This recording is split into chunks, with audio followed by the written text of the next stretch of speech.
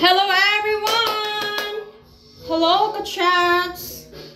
So now I'm preparing for work again because it's almost 2 p.m. And you know guys, I'm still sleepy because we are mandated at work last night. Ah, It's okay, that's life. Char, napagwapa na po ko guys. Para laming tanawan. Char.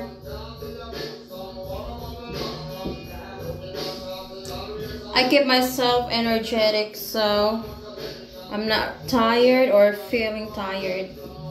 No stress.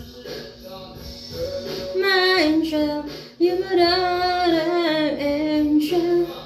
Do you pen in back tonight, baby?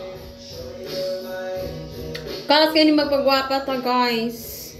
Die, why, guys. Kalas kayo ting magpagwapa kay...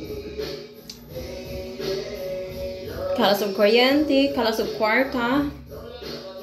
Pero okay ra kay trabaho man. Kaysa magtambay. Mag-street na tagbuhok, die. Para lami kang natawon sa trabahoan. Pwede ka murag ngiyong-ngiyong. Di ba angel? Fights na.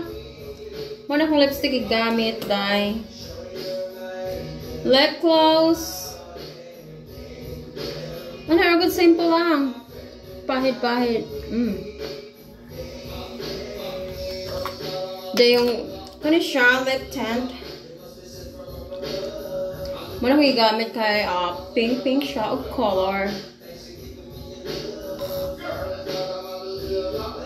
Na, pagpahidar good. Di ba ganun yung life? Para di na dagag-muriching-muriching sa face. Minimize your time and save your time. Ganon. Mag-relax ako guys, mga 10 minutes before I'm putting, before I dress up.